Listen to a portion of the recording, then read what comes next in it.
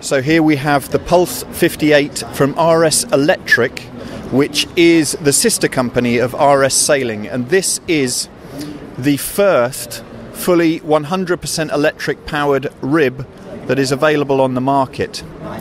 It is a 5.8 meter rib capable of 20 knots, and that will have two hours of charge available if you're doing 20 knots.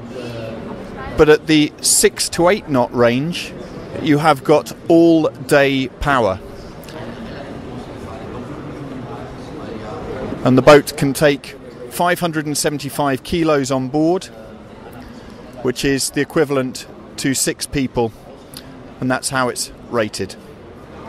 The Pulse 5.8 seems perfectly suited for the support boat role in clubs and can be charged overnight on shore power, which will give it a full charge ready for the next day.